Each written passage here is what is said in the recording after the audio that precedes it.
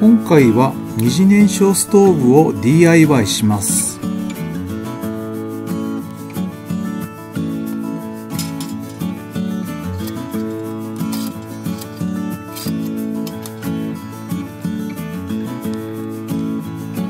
図は今回の二次燃焼ストーブを示しています。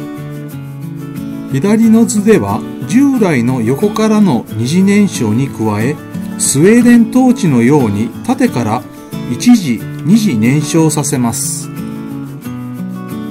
いわば二次燃焼ストーブにスウェーデントーチを合体させたストーブです。また右の図では上部に蓋下部に空気調節レバーを設け火力調節もできます。それでは二次燃焼ストーブを作っていきます。大小の塗料管で高さは21.5センチと16.2センチです。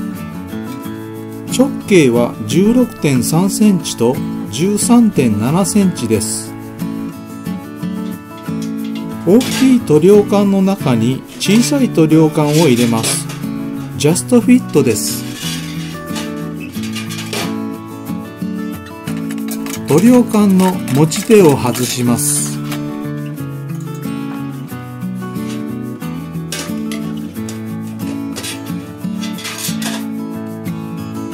塗料管に穴あけをするラインを引きます。マスキングテープを円周に貼り付けカットします。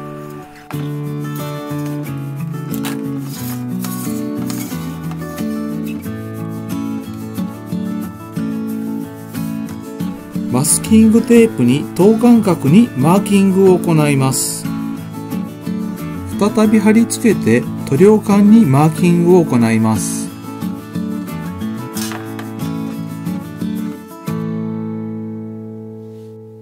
センターポンチでマーキングします。二次燃焼穴を開けていきます。小さなドリルで下穴を開けます。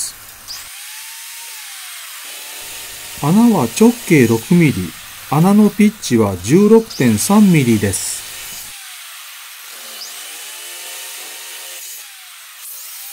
ドリルの帰りを除去します底の空気穴を開けていきます。ステップドリルで穴を開けますが、全く使い物になりません。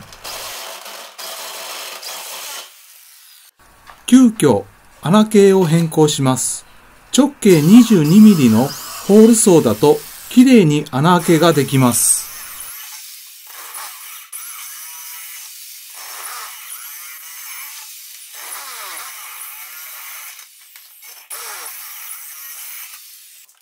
外側の空気穴もホールソーで開けていきます。空気調節するレバーが入る穴を開けます。トーチとなるメッシュ筒を支えるブラケットです。空気調節するレバーです。パイプを使ってトーチとなるメッシュの筒を曲げていきます。メッシュの筒を支える金属棒です。塗料管の底に敷くステンレス金網です。以上、部品の加工が完了です。各部品を組み立てていきます。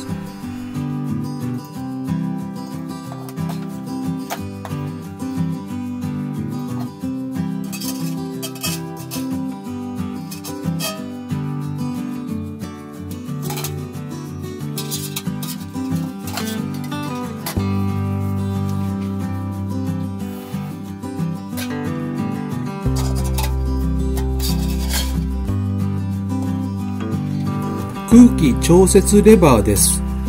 空気穴を開閉します。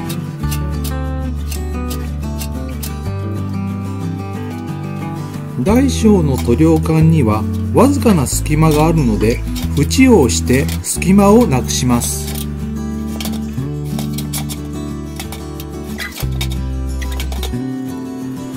そこに網を敷きます。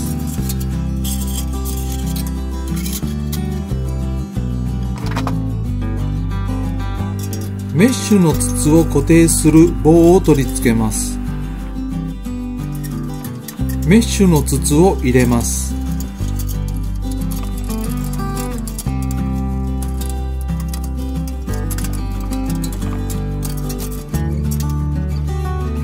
100円ショップダイソーのごとくを使います。一部カットして安定するようにしました。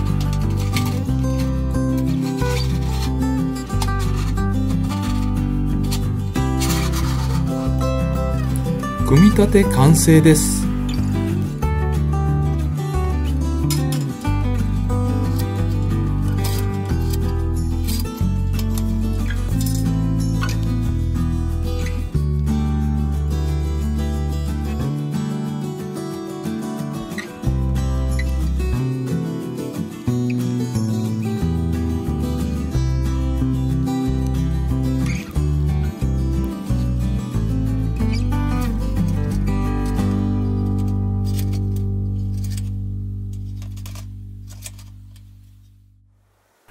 燃焼の確認を行っていきます。燃料は火がつきやすく、高燃焼し、日持ちが良い松のペレットです。ペレットは約 900g 投入します。燃料用アルコールをかけて点火します。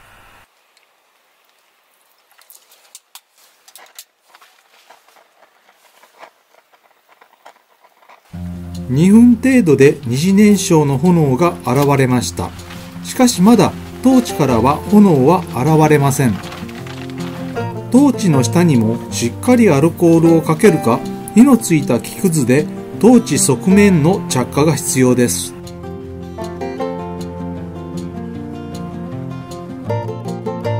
横からの二次燃焼もほぼ完璧な炎となりました。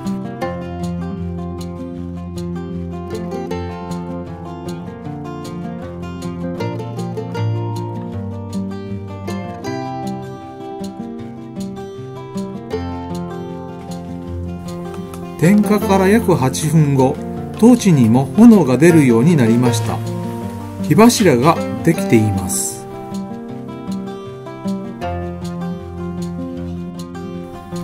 横から出る二次燃焼と縦から出てくるトーチの燃焼は実に美しくダイナミックです。まさに二次燃焼ストーブとスウェーデントーチのコラボのようです。調理する場合はストーブの炎の出口に穴の開いた蓋をかぶせ空気調節レバーを動かしトーチの炎の大きさを調節することができます。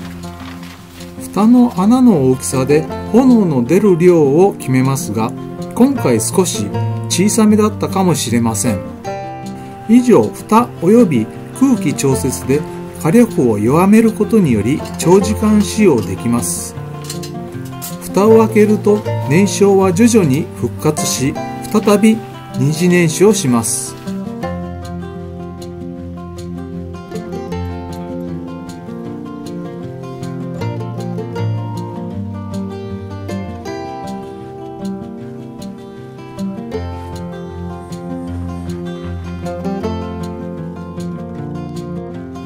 今回の二次燃焼は約80分続きました。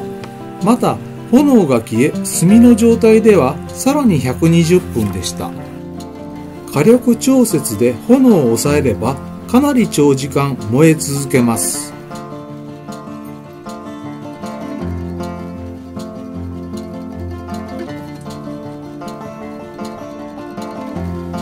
使用直後の状態です。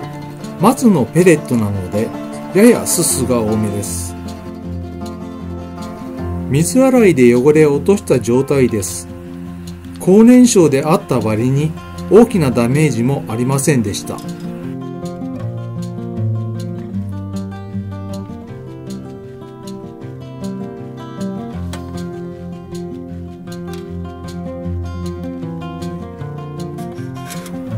空気調節レバーもしっかり動いています保管はシリコンスプレーを全体的に吹いておけばサビに安心です。